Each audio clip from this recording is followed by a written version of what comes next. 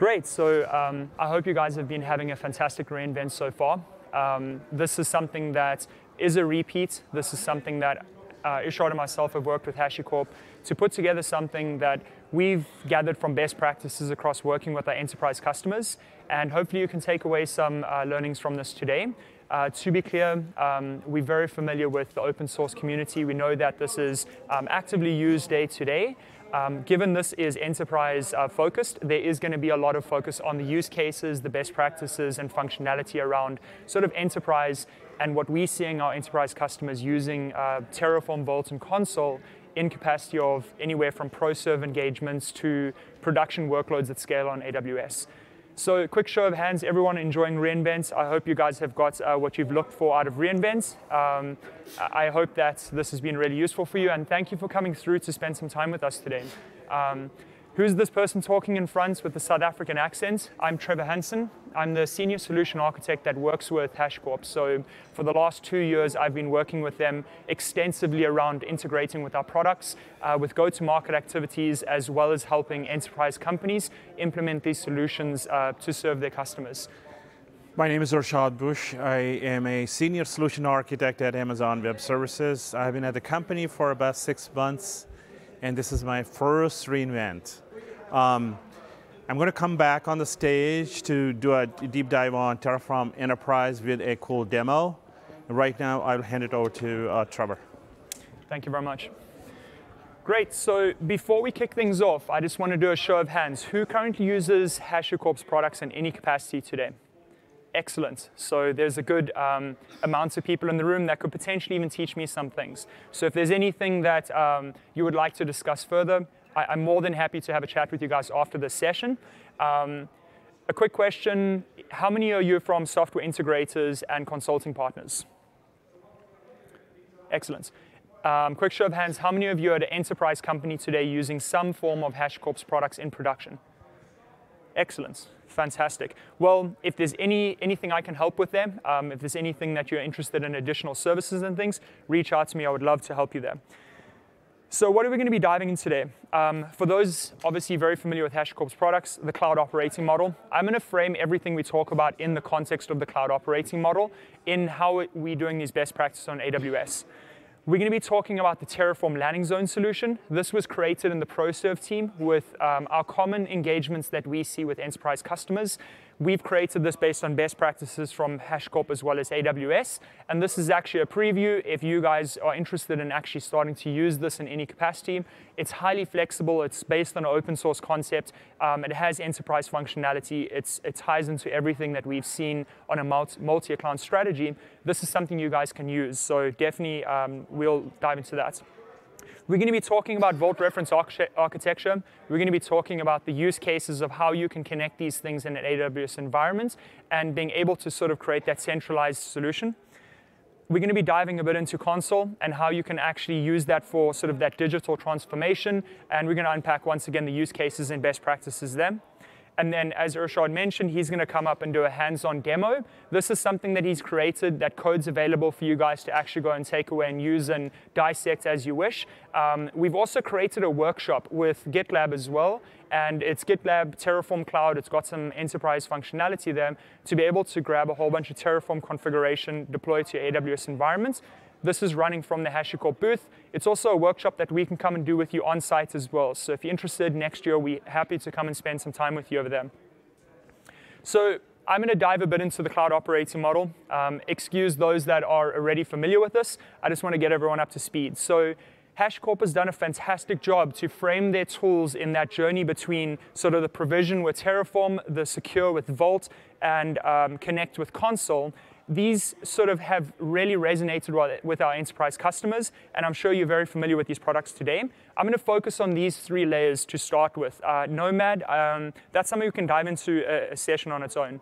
So why are these products important? We're realizing that with cloud, it's opened up a whole new world of benefits. But as enterprise companies, we've realized there's still a lot of constraints and regulations and things that you know, you've got these really big monolithic applications that you're migrating into the cloud or you're going through some form of transformation, you're realizing there's a couple of critical changes that are happening. You're no longer having standalone servers. You're no longer having sort of these VMware or, you know, hypervisors that you're running yourself. You're moving towards sort of these um, request a, a service or compute as you wish and being able to scale up and down. So it becomes very dynamic. How do you work in an environment where you know, an enterprise company is moving potentially hundreds of their applications to the cloud? This transition is incredible for opening up opportunity and creativity and being able to innovate on behalf of your customer, but it opens up additional problems and pain points. The next aspect is moving away from a very IP-based environment to a very dynamic, very DNS-focused, a lot of moving parts. You know, some of your teams are going to be moving into containers, some of them are going to be going towards sort of a serverless environment. How do you use these products to keep all those products centralized? So as you can see, they kind of layer on top of each other. They've done a fantastic job linking those all together. So what is Terraform at a core? I'm, I'm hoping this is uh, something that you guys are very familiar with. There's a wide range of providers that are you know, deeply integrated into a whole bunch of APIs. I think it's over 100 providers today. Um, obviously, within AWS, you can use Terraform to go and provision those resources, much like being able to interact with VMware and also being able to do things like Datadog. I personally work with Datadog as well, so when we go in and we do enterprise engagements, it's very frequent that we're seeing that companies are starting to adopt using Terraform to go and deploy deploy a workspace with Datadog, for example. And this is really going to stand out in the Terraform landing zone solution that I'll show you. So the typical sort of workflow there, you're going to have you, as you guys may be familiar, is you're going to be able to define your infrastructure as code in a configuration file, and you've got a couple of commands there to be able to go and take action on that.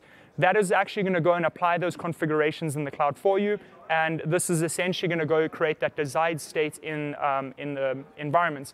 It's going to drop out a state file. That state file, we all know if you've ever played with Terraform before, this is something that you want to maintain, you want to keep, you don't want to lose it, because this is critical if you're going to continuously innovating. So as we mentioned, there's that day one experience. We're going to be, you know, I want X, Y, and Z resources in AWS. Now you start moving towards, you know, as a user, you start, you know, adding in databases. We all know that our applications evolve over a period of time. There's a lot of relationships and dependencies that are happening there. So as you see, a single user, I'm defining my resources, I'm applying them, they're going and taking action in environments. That drops out a state file, I'm gonna refresh it, keep it in sync, right? This becomes a little more interesting when you start moving towards multiple users working on the same project. You're going to introduce the notion around um, a version control system. You're going to be adding in things like a state solution where you can actually go and put something in S3. Anyone who's um, had a bit of a struggle maintaining their states in some capacity? Fantastic. So I would love to know if you guys are still having any problems there. Um, there's a lot of creative ways I've seen, but today we're going to be talking about those more in detail. Now we start moving towards your company starting to adopt these products, and you realize that you're having to, um, you know, maintain a lot of different uh, groups and sort of version controls and sort of these workflows. And now you're starting to have teams creating their individual workspaces. So the networking team starting to create their environments. They're starting to surface some functionality up to the application teams. And then you have sort of the monitoring teams and all the other things. Plug in your business unit here. Everyone starts operating in their own lanes. So this is when um, HashiCorp really decided, you know, the open source community is really well adapted. They've done a fantastic job. But as an enterprise company, how do we meet them where they're at with the functionality that they existingly um, are traditionally aware of, you know, without having to go change teams, what is the features that are coming into that? And we can unpack that slightly. So we saw one of the first critical things that they put in place was being able to put in sort of these permission boundaries and connect to your sort of existing LDAP environments, your authentication platforms. So being able to create logical grouping and assign permissions and identities to those. The next is being able to clip into a version control system. So I personally work with like GitLab, um, and it, for you that may be working with this, there's a couple of different options that you have there. But version control, being able to have multiple people working on the same project, I'm sure we're all well aware that you know you want to be able to have sort of that continuous integration workflow pers perspective that you're not having people stepping over um, on each other's toes, and you're keeping a good state of every change that has happened over a long period of time. This hands over to state management, so enterprise really has unlocked a lot of uh, crucial benefits there with state management. Something that actually I really personally enjoy what they've um, launched was Terraform Cloud, which Irshad will be diving into as well, which also handles that state management for you. as we mentioned, that's uh, sort of making sure that you, you're lining up those deployments, that you're not going to step on each other's toes. Some enterprise companies we've seen, you know, they moving potentially hundreds of applications over a short period of time into the cloud. You're seeing that there's a lot of changes that are happening in a very short period of time. Having the power to make sure that you have this at the infrastructure level, at the workspace level, and the application level is, is crucial. And it's something that, um, you know, initially when you start growing a company, you realize how these powers come in play environment variables. So when you have obviously a whole bunch of different applications that you're maintaining, you want to make sure that the blast radius is really reduced without having to store anything local and being able to put that up into that uh, Terraform environment. Modules, we're going to unpack this a bit more in the Terraform Enterprise, um, where we're talking about the landing zone solution, where you're able to, within an organization, be able to define sort of modules that are specific to your organization or sort of the blueprints, if you will, allowing your downstream customers internally to leverage these modules. So, you know, you have a, a small core team creating these infrastructure in a service catalog way, being able to say, you know, the application teams that work with Kubernetes, we've got a couple of best practices around this. We want to create that module and give it to them. And the Terraform landing zone solution that we created really streamlines this process to make it easy to serve your customers. The private registry is essentially where you're registering those things so that people can actually grab those and deploy them within their environments. The Sentinel policies for anyone who sits in a government uh, and requirements around security and making sure that you're putting in good guardrails to make sure that you're not exposing a database to the world. You're not putting something that infrastructure as code is not opening up a port that you don't want to be opened. You really want to enable the developers downstream to be able to have the full functionality to innovate in the cloud as they wish, but having Sentinel to be able to define the policies and permissions around that. Once again, Irshad is going to be giving you access to that to show you a bit more around what that is as well.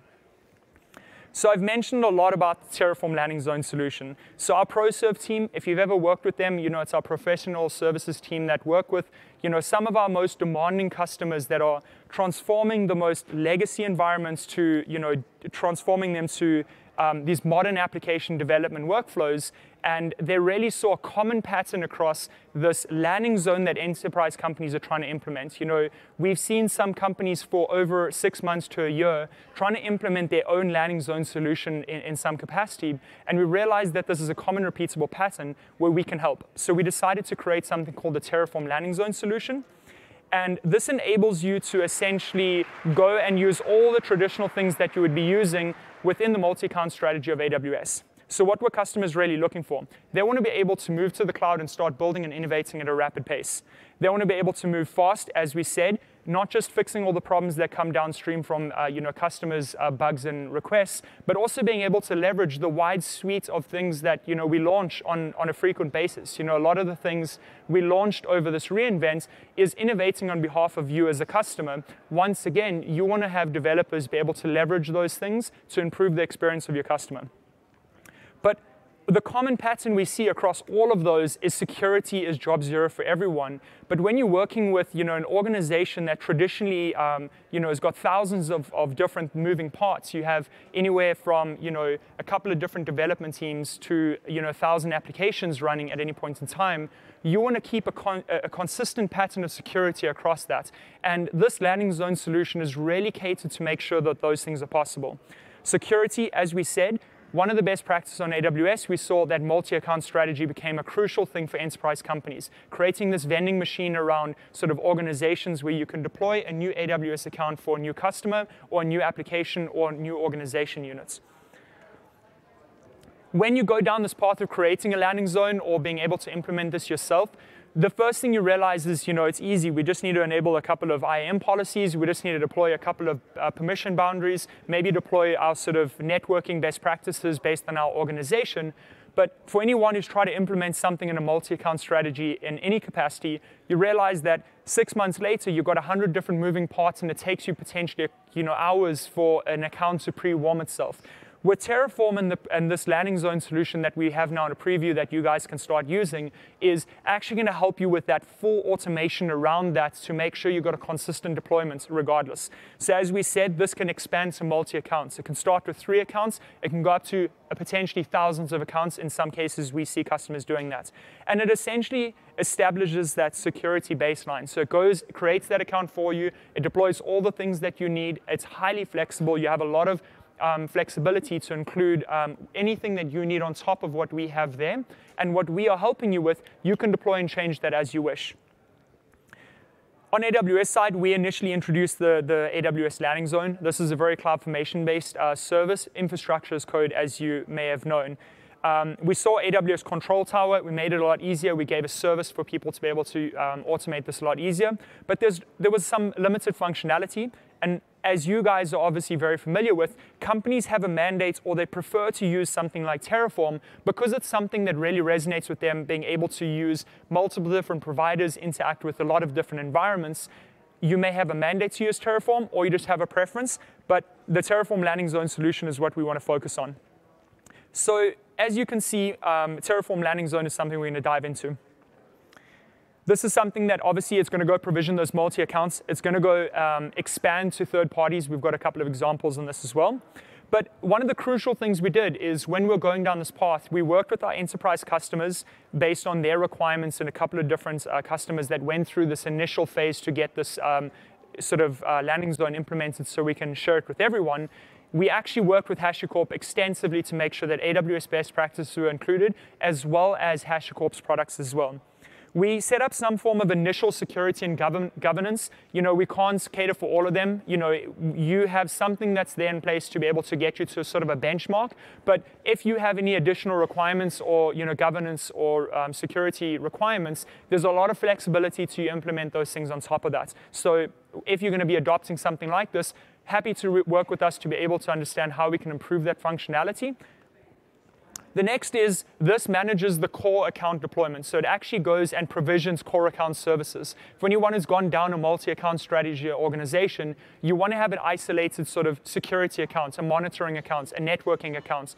These become crucial in, in that um, adoption. But the account vending machine is where we really um, see the benefits of this because a new team comes on board or a team is starting to expand into more accounts. You want to be able to vend AWS accounts within the governance and requirements of your, your typical environment that you are in, but you want to make sure that they're maintaining the security posture that your company requires. The final most powerful thing, it's fully automated. Once you've got this all wired up and everything's going well, essentially it's got a self-service form um, based on sort of how you've set up the authentication based on your LDAP or third party or SSO. You're able to get people to go to a sign up form. They go fill in a couple of details you specify based on, you know, if I'm part of this application team, it's going to go vend that machine and it's going to pre-warm everything. So what is it going to be doing from a high level on this Terraform landing zone? Initially, the only manual component for anyone who started working with AWS is that master account. So the master accounts is the pair accounts. Everyone knows we need to go jump in there and configure a couple of things. But then after that, you can actually start using Terraform to be able to go deploy the rest. So we actually go and create sort of the shared, um, the shared account services. So if you have any services that you want to be able to share from a centralized location that can be shared out to your whole organization, we're able to go and deploy that. We create that initial logging accounts, we create the security accounts. These become crucial, fundamental um, sort of um, foundational accounts that get used because we're going to deploy Terraform Enterprise on top of that. We're also going to deploy your version control system of preference. So if you got like, for example, GitHub or GitLab, we're going to go and put that out there in that as well. But this is where the power kicks in. It's going to go start provisioning sort of that core accounts and organizations. It's going to configure your supporting services, and we'll talk about that shortly. So let's say if you have an S3 bucket, you know, that you need to configure within how your company wants it say, for example, you want to enable encryption on an S3 bucket for everyone that uses S3 buckets, it will go and configure these things and be able to uh, make those available. It will go trigger the baseline. So it's going to go deploy sort of that v VPC and networking layer for you. Highly customizable. You can go and change this as you wish. You obviously have all your own requirements within your organization. It's critical that you can go and customize this.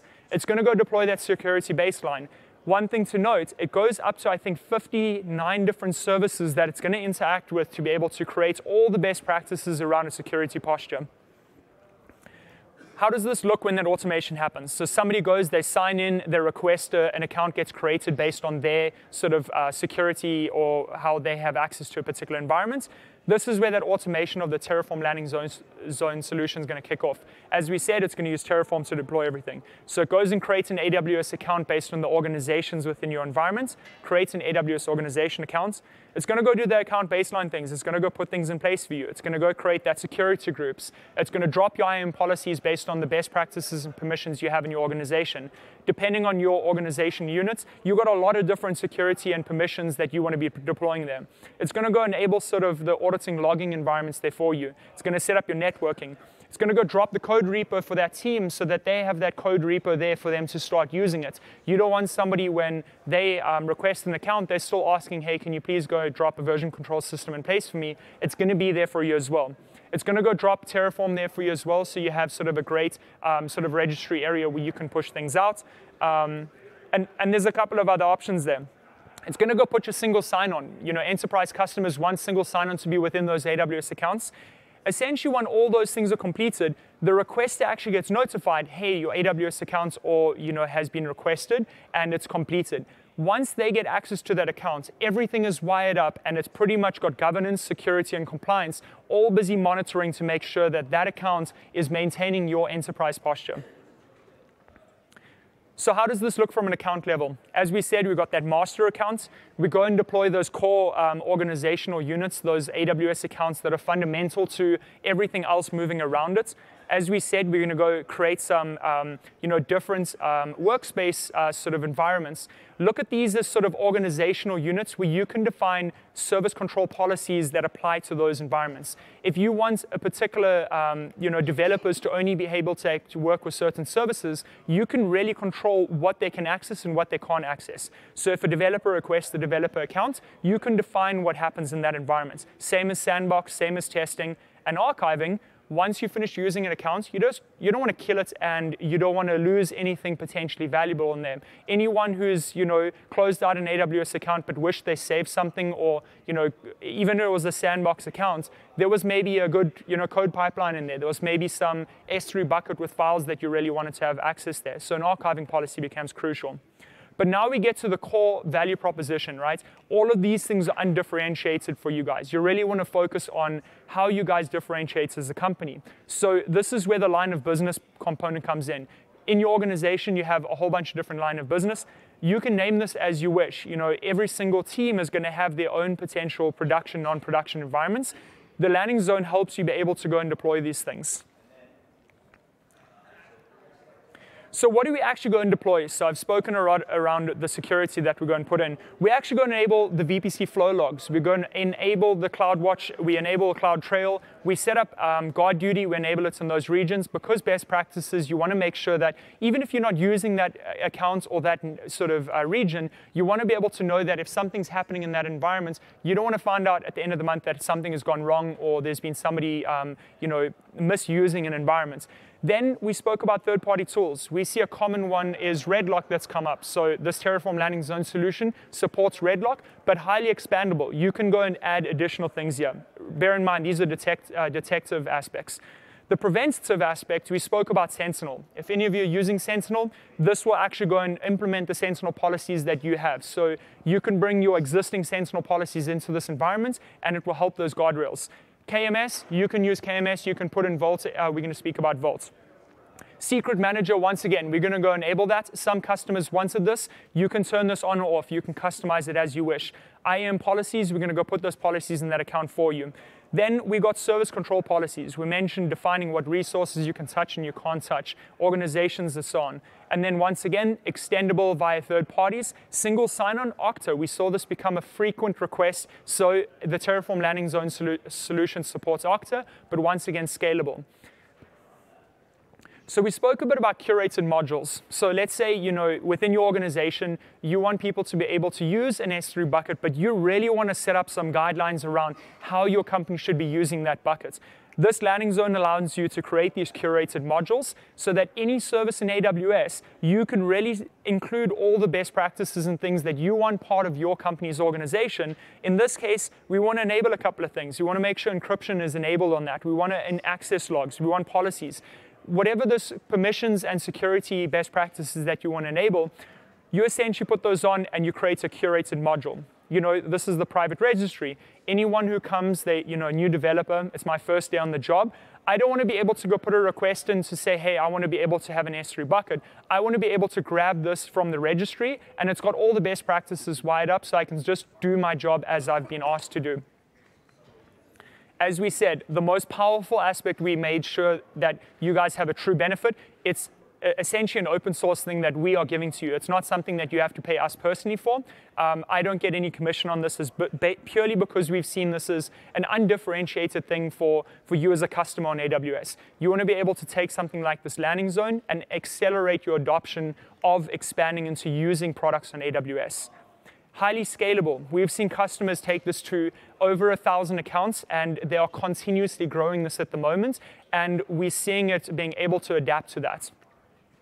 It's self-service. So once you've got it all lined up, essentially anyone who joins the organization or if there's a new line of business that you stand up, everything is automated on the back end once you've got this all going essentially when you see companies moving through that you know, transformation to the cloud, usually what you're seeing is they're bringing their old habits with them and they're really stuck with sort of these sort of ITIL or you know, these process request uh, processes. We really don't want to have those guardrails up there. You want to make sure that um, you know, you're not blocking people from being able to use the things that they really want to use. If somebody wants to use EKS or if they want to be able to spin up a container or if they want to use a Kinesis stream, we're not stopping them from that. You want to make sure that people have access to the things that they can do best. So you don't spend weeks going through a request process. You essentially have an automated process that can help them there. Everyone that deals with auditing, this is a real powerhouse. You're able to continuously audit and be able to pull um, any specific questions that you have there. Any additional things you want to add there, we can work on that as well. Lastly, as I cannot stress this enough, this is not prescriptive. It's, it's a framework that we're giving you that you can customize as you wish. Now we've spoken a lot about Terraform, let's talk about Vault. Anyone using Vault today? So Vault, uh, for those that do not know what Vault is, Vault is moving away from you know the sprawl of secrets and uh, credentials and things living all over your organization within uh, you know environment variables, within local sort of storage locations. There's a whole bunch of different places you're going there. And one of the things we're seeing companies adopt it for is to create the centralized components. So it's incredible to see how many companies are adopting this. And the more they become familiar with the use cases and the features that Vault provides, the more powerful it becomes. Some of the most security aware companies that we work with that operate in, in, in these highly compliant and secure environments, Vault has become a crucial player in that environment because of the power that it gives those developers downstream.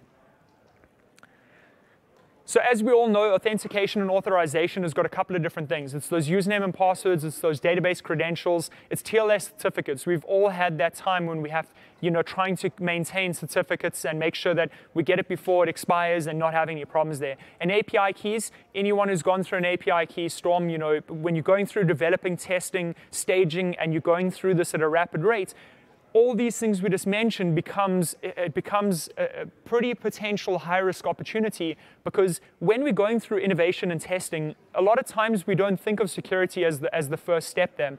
So what did Azure, I mean, what did they actually try and do here? They decided to centralize this. When you look at how Vault has come in and actually enabled this best practices, they decided to bring all these things and take all these security requirements and put it into a centralized location and make it API driven so that anyone in the organization can leverage the benefits of Vault. So one of the first things, enabling those things to be encrypted at rest. You know, that's best practice out of the gates. The next aspect is anyone that's communicating with Vault is going to be able to se uh, securely communicate and it's going to be encrypted traffic. The last component there that I want to talk about is fine-grained access control. You can really define which users and applications can access what level of what um, sort of credentials there.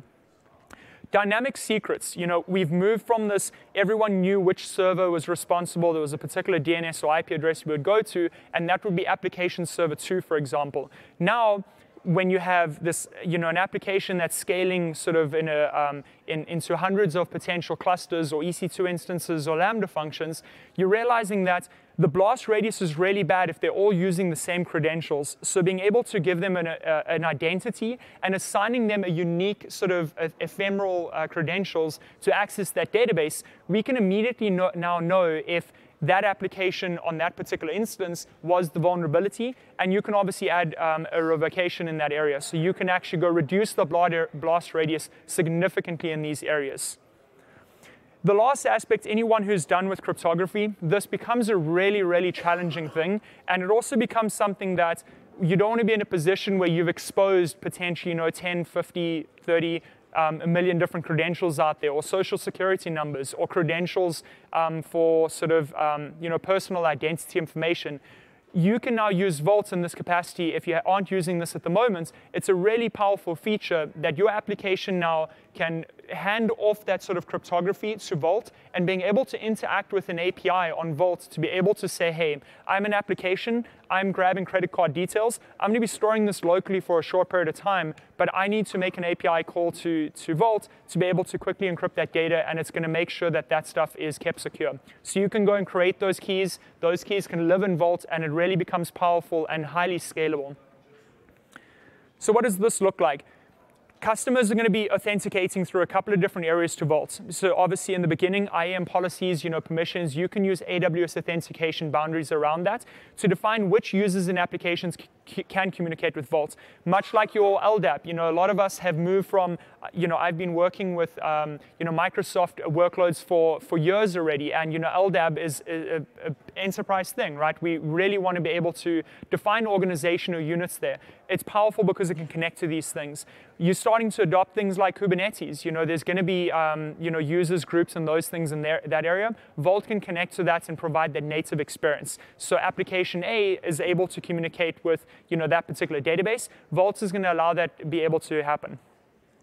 We know that um, you know, whenever these applications and users start requesting a database, for example, you want to make sure that you have a good trail history there. So th there's a powerful use case where you can actually now drop these into Splunk. You're able to drop these into you know, any auditing backend where it becomes powerful because you can have your teams to go and audit based on what was happening on the backend. It's really powerful when something starts going wrong or you're seeing a bit of an inconsistent trend. You want to go be able to go back and see what was going wrong there. The next aspect is you don't want this to be a single point of failure. So Vault does support that power of you dropping off the state or the storage of the backend into a database of its kind. So you can connect this to Consul, for example, and Consul be able to hold that backend so that the core Vault can actually be become a highly available environment and have that storage on a backend. You can also put this into a database um, of choice, and it has a couple of good options that you can include there. The real power now comes in where Vault connects to additional things. So you're going to be able to say, hey, these are key values that we're storing in there. We want to encrypt those. The next aspect is those database connectors. You're going to be connecting to, let's say, let's start off with the MySQL database if Vault is connected to that MySQL database, it's able to go and broker new credentials out to the application that's showing it, instead of having that um, user continuously requesting with the same username and password in those cases. IAM roles, we all know that best practices, if you've ever gone through well-architected reviews, rotating those roles and credentials and giving short-lived access becomes powerful. Vault has good uh, um, connectivity to that. Your public keys, we all know that public keys is, um, it's all caught us off guard at some point.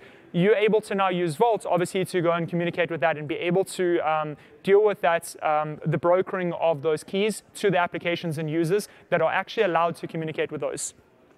SSH, this, you know, storing those PEM files is always something that, you know, we all have uh, gone down that path of creating sort of um, access with one PEM file to hundreds of EC2 instances, for example, and it continues, goes down that path. You check that in once somewhere, and that could be a, a single point of failure. With Vault, you can actually connect it, be able to broker out some new uh, PEM files to an application for a short period of time, for example. Now we look at a highly available situation. You know, Vault supports highly available out of the gates, so you can actually go and create sort of that primary node. Within AWS, we obviously recommend having things at least across two to three availability zones. You can have Vault actually go and create those sort of read replicas that are sitting there. The applications also support connecting to Consul. We're going to dive into Consul shortly, but this becomes powerful because it can use Consul as that backend, and it can also point the customers to that primary node. Anyone using Consul at the moment?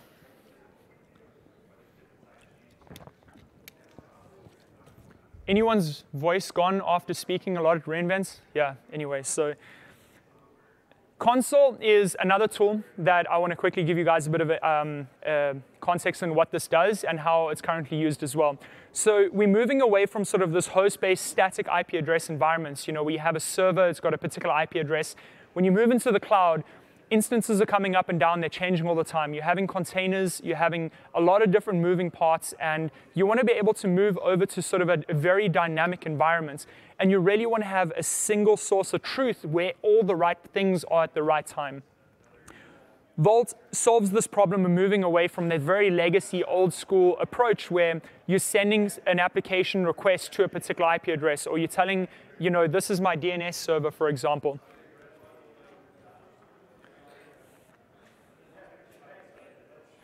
So how does this look in a traditional environment? You've got you know, potentially this monolith application, or you've got multiple applications sitting in within um, with one environment, or potentially even in one box. What's happening is those applications sort of know exactly where they need to be going. You know, you've got a, a couple of different applications that are very dependent on each other, and in a, a really well-established world a couple of years ago, this was easy to maintain. You're moving over to something where where you're now moving into AWS and your teams are starting to break up. They're becoming two-pizza teams, as you may have heard about you know, what we do within our service teams. But essentially what's happening in those, those apps are maintained by different product teams. They're starting to move at different paces. They, they've got a lot of different moving parts. They, you know, they decide to leave a load balancer. They're changing to an API. There's a lot of changing paths there. So how do you maintain sort of, you know, not just ABC uh, there, how do you go up to 300 applications and make sure that these applications know how to communicate with each other? So if you translate that to AWS services, you've got a couple of um, you know, service teams on your side that are using EC2. You know, some are starting to, they love the, the change of Kubernetes. They decide they're going to go with EKS. How do those applications know where the database is going to be, you know, when the database team is making changes all the time on their side? This expands to a whole bunch of different services. So as you can see, there's a lot of services that are being adopted. This is where the power of Consul really comes in. And for anyone that hasn't played with Consul, this is something I encourage. Go and play around with it. There's a lot of really powerful things there. Think of this as a service mesh like with, you know, on steroids. It's helping you with a lot of things. So when an application is, let's say, on an EC2 instance, and that EC2 instance uh, is running app A, for example, what happens is it's going to stand up, it, you know, based on the IAM policies and roles and permissions of that application, it's going to be able to have that sidecar to be able to call Vault and say, hey, I'm, you know, application A, I'm ready to take some traffic, I'm able to serve my customer. So what's going to happen there, it's going to register itself, and it's going to put itself in a catalog all the applications now know exactly where service A is going to be. Because Consul, remember, is continuously brokering with all the proxies on all of these boxes. And what's really powerful of this, it becomes really easy to discover. So when, let's say, an application on that ECS, you got your uh, Elastic Container Services team, you know, they're doing a fantastic job creating their app. All they need to do is point to where Consul is telling it application A's identity is. And whenever it makes that request, it's going to know straight away where that is. Bear in mind, it's got a sidecar agent that's going to help with that. I missed one there. Configuration. We all know that when we start expanding really fast, there's always this configuration file that we're passing into an application. When application stands up, it says, hey, Consul, grab me my configuration file. You can centralize those configuration files for your application. So it becomes really powerful to make sure you've got a single source of truth of what application version you're running, where you're pointing an application to communicate with this database, etc. Segmentation, so you can really now um, define that service graph. So you can say that application A can speak to application B, but it can't be application A to C. You don't want somebody to jump in through sort of a, a, you know, a little web server to be able to speak straight to sort of the social security database, for example. You really want to be able to define that and you can control that and you want to be able to audit that. You want to be able to give an application an identity. Every single um, version of that application is going to have a unique uh, certificate associated to it, so it knows what it's an identity. It's going to speak to another application and it's going to say, hey, I'm application A, this is my identity. If it's not allowed to talk, it's going to bounce that, and it's all highly um, sort of uh, audible. So if you have, as we said, those proxies, you have two applications, they need to speak to each other, their sidecar proxies are going to be able to communicate with each other. Let's say you have defined that A can speak to B, application A and B. What's really powerful, it deals with mutual TLS. So that communication between those two applications are now going to be encrypted for you. That handles that for you, and it becomes really powerful. So this is where I hand over to Irshad. Um, I really hope some of this has been really in, um, you know, informative for you guys. There is you know, a lot of best practices that we see continuously surfacing up from our enterprise environments. This Terraform landing zone solution is something that we created from our ProServe team. If you're interested in, in working with this or taking a look at what it is, come and reach out to me. I'm happy to help you with that. A lot of you put your hand up using um, you know, our products today with, uh, with HashiCorp in conjunction. I'm their solution architect, so if you're facing any problems or you need any help, come and speak to me. I want to make sure I get those problems solved for you, or at least put you in contact with the right people. And I hope you guys have a really good reInvent further, and um, he's going to hand over on a demo. Thank you. Thank you, Trevor.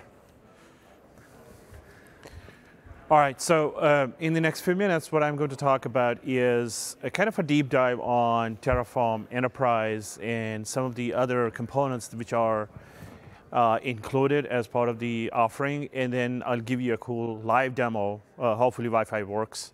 Um, so some of the points that I will be talking about are, are, listed here. Now, there are a number of delivery methods. Um, I'm, sure a lot of you raised hands on uh, being users of Terraform, uh, at least open source. So you start with the CLI, meaning you uh, download executable binaries and then start using Terraform um, CLI from your laptops, from your desktops.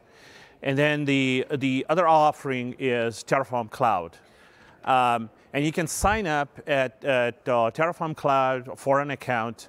And, and for certain features, uh, they, they don't charge. This is a, a free account. And then the, uh, we have the, uh, the top offering, which is the Terraform Enterprise, where you know, uh, it's essentially the same offering, but then you have the option of deploying it in, on-premise and using it, uh, let's say you are going through some regulatory compliance or there are some requirements of hosting it within your uh, data centers, uh, then you can have the Terraform Enterprise. Now, state management.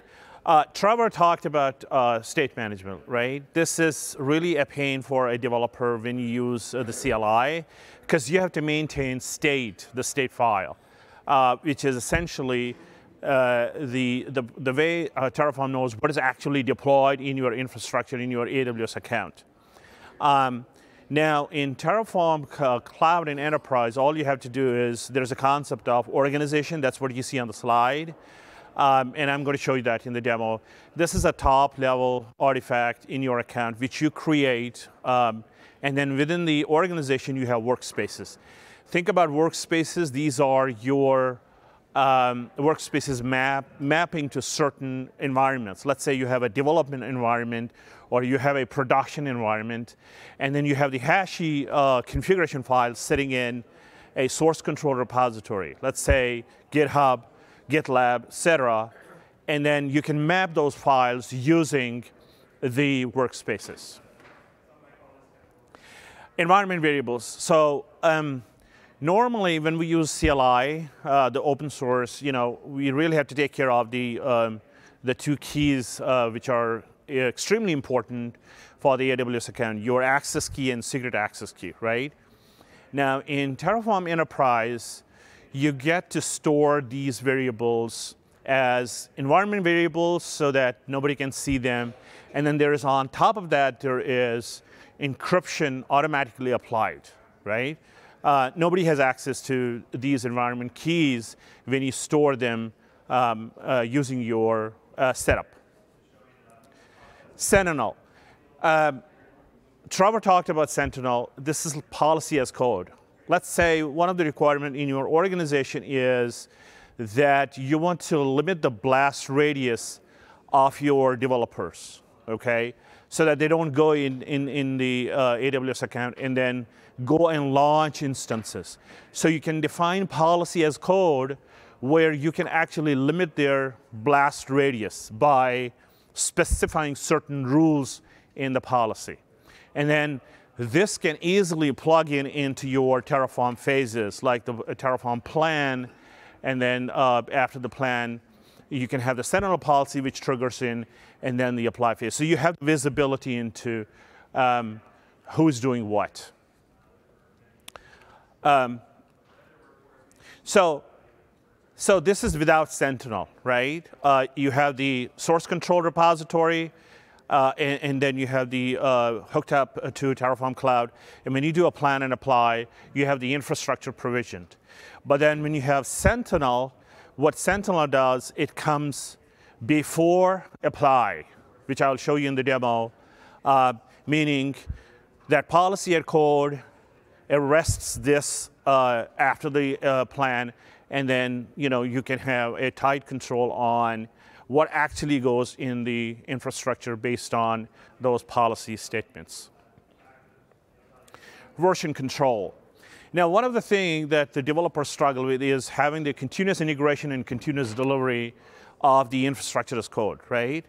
Um, and then we do a number of things. So Terraform Enterprise gives you access to, there is built-in continuous integration and continuous delivery, uh, which also I'm going to show you uh, in the demo. So right now, uh, GitLab, uh, GitHub, and all of these repositories, uh, these version control software systems are supported. I'm going to show you um, a demo with the GitLab.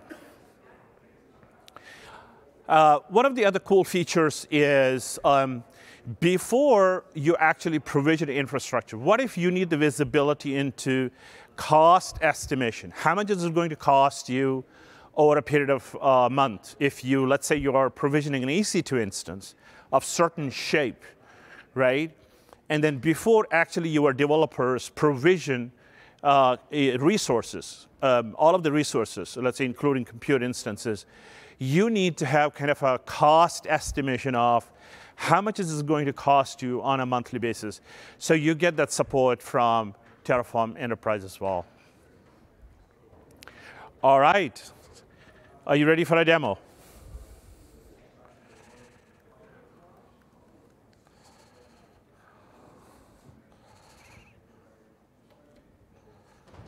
Okay, so I'm logged in uh, into my Terraform Enterprise account right now, and then all of these features that you see on the on the on the on the left.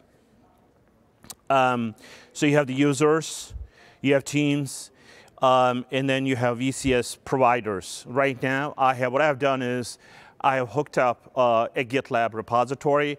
In GitLab, again, GitLab right now, what I have GitLab in GitLab right now, I have the Hashi files, and I have also the Sentinel policy files. Um, and then um, I enable the cost estimation that I was talking about a few minutes ago. So it's a matter of checkbox. Um, and then you get this facility uh, built in. And then the policy uh, sets, which is Sentinel, right? Policy as code. You write code, enforce the code, and then again, it's coming from one of the uh, repositories in my uh, GitLab. Okay, so these are all of the settings. And now if I go inside my workspaces, right now what I have is I have um, one workspace, which is actually a very simple uh, repository where I have uh, uh, Hashi files for creating an EC2 instance and installing Jenkins on top of this. And I'm ready to uh, share the code. And then if I go ahead and then from the UI, right, very powerful. So you have the ability to run a plan. So you queue the plan, um, and then what it's going to do right now is it's like you are doing using CLI uh, Terraform plan. That's the first thing you guys do, right? When you when you try uh, the infrastructure provisioning using Terraform, first thing you do is basically to see what it does, right? And there are a lot of things behind the scenes what Terraform does. It also gives an indication of what it is actually going to do when you apply um, uh, finally at the end of uh, the, the phase. Now, what you see now is uh, the plan is still running. As part of the plan, after the plan, you have the cost estimation. This is a matter of that checkbox that I talked about, right? You enable the checkbox, and it's going to give you an indication of, right now it's estimating, it's going to give you an indication of, hey, this is going to cost you about $66 uh, some cents monthly if you provision this particular um, set of uh, resources in your infrastructure. That's very useful, right? And then the policy, Sentinel.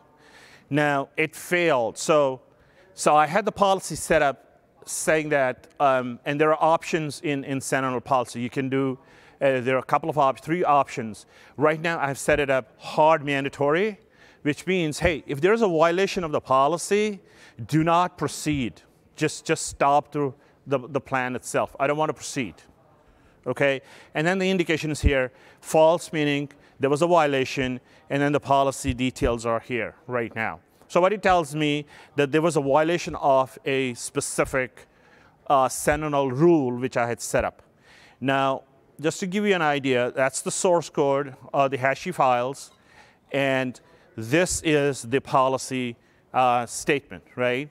What I have done, I have set it up as, as you can see, enforcement level, hard mandatory. You have two other options, soft mandatory, and then advisory as well.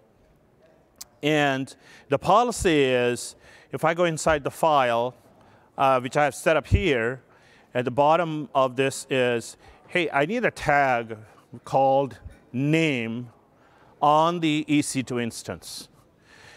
Now, if I go back to my Cloud9, how many of you have used Cloud9, Cloud9 IDE before? Okay, so I'm using Cloud9 right now. And if I look at the source code, what I see is that there is no name tag, right? So what I will do is, as part of this demo, um, make sure that I have this applied, and I save this, now I go back here to my command uh, line interface and then CI/CD built in automatically. I'm not teaching Git here, but just to give you an idea that how it works. So it tells me I have modified, and then I go and um, let's say commit the change. Um, oh, let me add this first. Okay, add this first, and then I commit, and then finally, I say git push. So I'm pushing it to the, I'm pushing it to the, um, to the GitLab, my source control. And all of a sudden you will see now, because of that, it will trigger a new queue plan automatically. We're not implementing CI/CD here. It's built in from the, uh, from the Terraform Enterprise, Terraform Cloud. So then after this, because I changed the policy, uh, this, this time it's going to go and, and run the same uh, uh, phases, like the, the, the, plan first, and then uh, it go, it's going to give me the indication of uh, the, the cost, and then finally it's going to give me um, that's what happens with uh, uh, the live demos, right?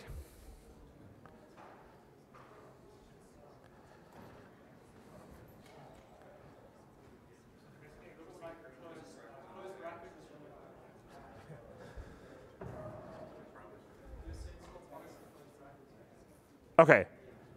Sorry, sorry, say that again. Okay. Um, yeah, it looks like.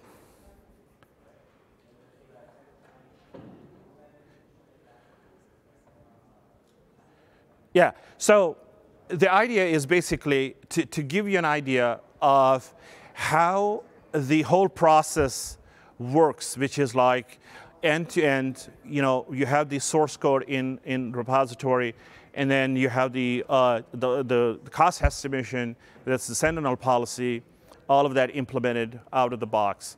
Um, so that gives you an indication. Um, let me bring Trevor back on stage uh, because uh, we want to talk about a couple of things first, uh, which is um, the uh, survey towards the end. You know, we value your feedback, and that's typically how we work. Uh, if if uh, you guys go ahead and then put the feedback there, so that you know we can make it better next time. Mm. That's the intent. And also, like Trevor talked about yeah. the uh, the game day, you want to talk about that? Yeah. Um, quick show of hands. Who picked his closed brackets on the Sentinel policy removed? Fantastic. Yeah. So it looked like uh, when you cleared out the slashes, you removed the closed brackets. Live demos. Anyone who's done sure. this uh, knows that. Guys, thank you so much for coming through. Um, we created something called a game day, which um, is a it's a gamified workshop where you can actually go through and learn how to sort of connect Git, uh, GitLab or GitHub environments to Terraform Cloud and be able to deploy a whole bunch of uh, workshops, right. including a Vault workshop that's on top of that. So take a, um, a walk past the ha HashiCorp booth. They've got um, sort of access codes that you guys can access that environment. Um, but safe travels for everyone. I hope you guys had a fantastic time at reInvent, and we really appreciate the time that you guys had here today. So thanks a lot for your time. Thank you.